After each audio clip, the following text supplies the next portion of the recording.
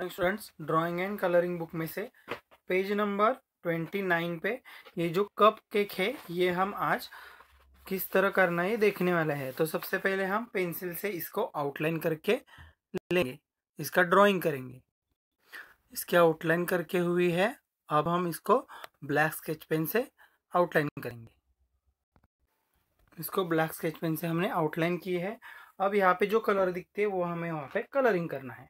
तो सबसे पहले ये जो चेरी दिख रही ये हम कलर करेंगे। इसके लिए हम रेड कलर का यूज़ करेंगे।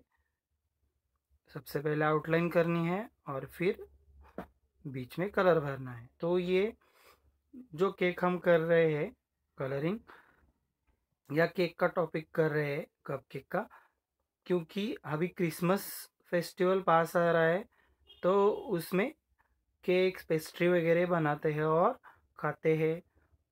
क्रिसमस सेलिब्रेशन इससे भी करते हैं। तो इसलिए हम ये क्रिसमस फेस्टिवल के लिए हम ये आज ये ड्राइंग और कलरिंग कर रहे हैं। तो आपको ये अच्छी तरह से देखना है और करना है। अब यहाँ पे येलो कलर हमें करना है। आउटलाइन करके लेनी है इस तरह से और फिर बीच में कलर भरना है। यहाँ का येलो कलर देखे कंप्लीट हुआ है। ऊपर का अब ये जो यहाँ पे ब्राउन कलर है, वो कंप्लीट करके लेना है।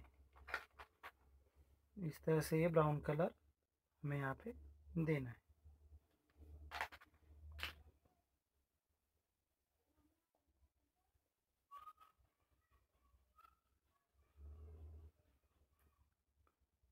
अभी नीचे जो अल्टरनेट कलर दिया है पर्पल और येलो वो कंप्लीट करके लेना है।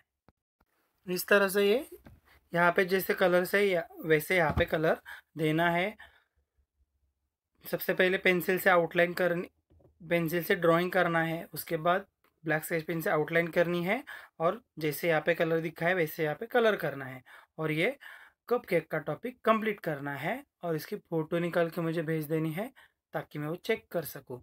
नेक्स्ट वीडियो में हम नेक्स्ट टॉपिक देखेंगे।